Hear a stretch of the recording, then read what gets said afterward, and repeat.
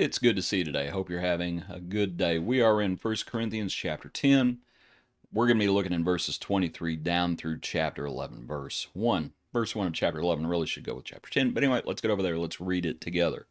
Verse 23 All things are lawful for me, but not all things are helpful. All things are lawful for me, but not all things edify. Let no one seek his own, but each one the other's well being. Eat whatever is sold in the meat market, asking no questions for conscience sake for the earth is the Lord's and all its fullness.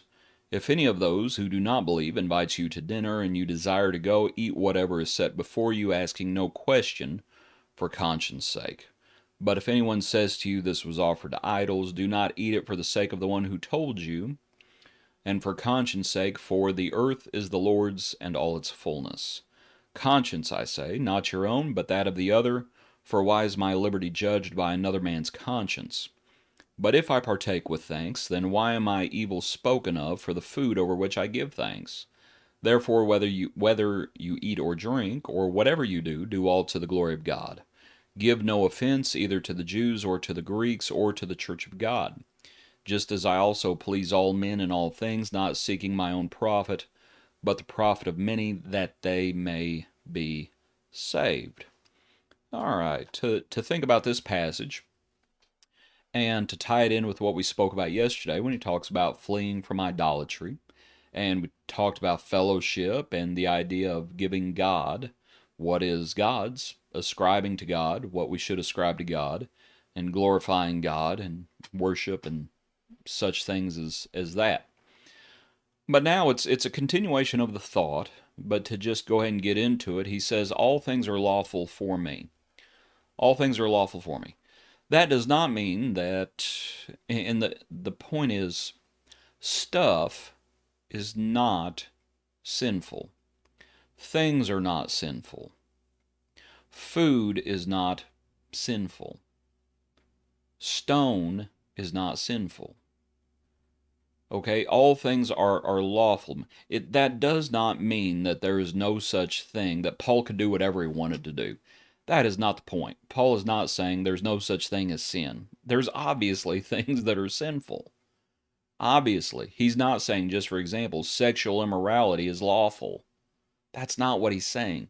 He's not saying drunkenness is lawful. That's not what he's saying. Okay, he's saying stuff. All things are lawful for me, even in even in this realm. In this realm, there is, and I, have heard another fellow put it this way all lawful things are lawful. And perhaps th- that is true. Whether that's what Paul means or not is another question. But in the realm of what we're talking about, in the realm of liberties, these things are lawful. Not everything's a liberty. There are still commands, but that's that seems to be what Paul is talking about. Stuff, things, and, and things pertaining to liberties, all things are lawful. But not everything is helpful. So the question is, okay, well, what's helpful? The things that we do, and this is, I think this is one of the issues. What we do is not done in a vacuum, or at least it should not be done in a vacuum. We have a very independent streak in us and we're like Israel and old, and every man does what's right in their own eyes, and they don't think about others. Well, he says everything's help, everything's lawful, but not everything's helpful. The things that we are doing are not being done in a vacuum. So we need to be thinking about helping others. And we'll say this before I forget. Pardon me. We're not even just talking about our brethren. He's going to use the example that we read if an unbeliever invites you. We're not just talking about brethren, we're talking about everybody, whether it's Jew or Gentile or church, whether it's unbeliever or believer. We're trying to do what we can to be helpful towards all. That's what we're trying to do. So, okay, within this within this idea of liberties, okay, all's lawful, but not everything's helpful. But then Paul goes on and he says, All things are lawful for me. And he's not just repeating himself, I don't think. All things are lawful for me, but not all things are helpful. All things are lawful for me. Paul understood. How are all how did Paul know that these things were lawful? It's because he understood. He says in another place though, he says not everybody understands that. So therefore they are bound by their own conscience. Paul and talking about this, he says, You need to be thinking about other people's conscience, but in these matters, he understood he was free. Not everybody gets that, though. So he says, All things are lawful for me.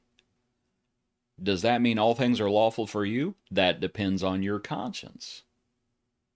Within this within this scope.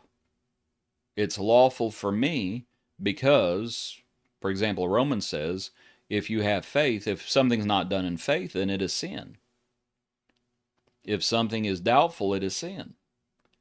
But if you have faith, keep it to yourself before God. Happy is he who does not condemn himself. Well, Paul says, I'm by doing these things, I'm not condemning myself. He says, I'm free. All things are lawful for me. But we seek the edification and the well being of others. Now, that business, the edification, right? And the well being of others. Sometimes folks don't appreciate that and recognize it for what it is. For example, in first in earlier in the chapter, earlier in chapter 10, and it's going to talk about how as as all of them came out of Egypt and all ate the same spiritual food, all drank the same spiritual drink, right? You have all that verse, but with most of them, God was not well pleased. And you have different scenarios, different situations where a lot of people died. Each one of those instances, whether it's talking about Mount Sinai when the idol was crushed to powder and they were made to drink it, whether it's talking about when they complained about the manna and you have the the brazen serpent being made and all, all those instances. Was God trying to discipline his people? The answer is yes. So, was God disciplining them for their own well being? Yes. Paul, he's going to say in other places, he's going to say, How should I come? And if they didn't if they didn't respond, if they didn't clean their act up, he's going to have to come in and he's going to have to clean house. Says, Shall I come with a rod? Even there, it's being done for their edification and well being. Sometimes we think edification is just. We, we think edification is just when we are soft and gentle. But if, if someone is is hard and they rebuke sin and they say, "Man, you shouldn't be doing this." That man in 1 Corinthians 5 who they who Paul says he was already judged. He had already judged the man as though he were there. And he says, You deliver him to Satan for the destruction of the flesh, that his soul may be saved. You withdraw from that man. Keep no company with him. Was all of that being done? And I'll say this we know from Second Corinthians, he says, I wrote these things not for him, not for the one who suffered the wrong, but for the church. I understand that.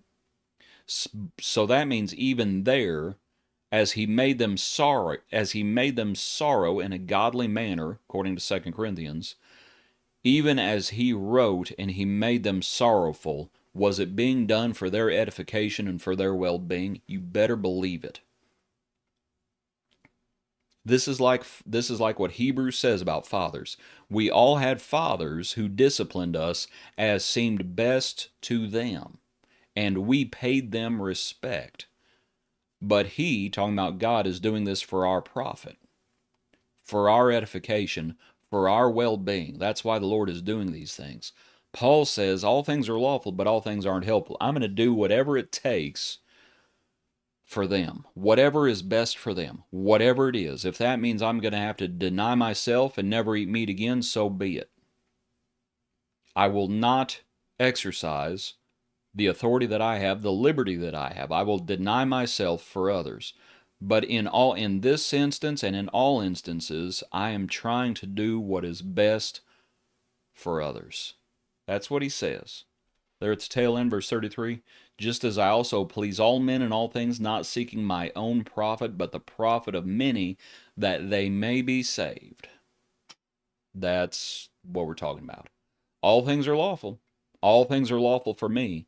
But if we think that that is a permission slip to ignore and neglect others and to just do whatever pleases us, we don't understand one thing about what it means to be a Christian. That's the truth of the matter. I hope this study has been helpful for you today. Appreciate appreciate you joining us. Hope you have a good day, and I hope you join us tomorrow as we wrap up 1 Corinthians chapter 10. Thanks for being with us today.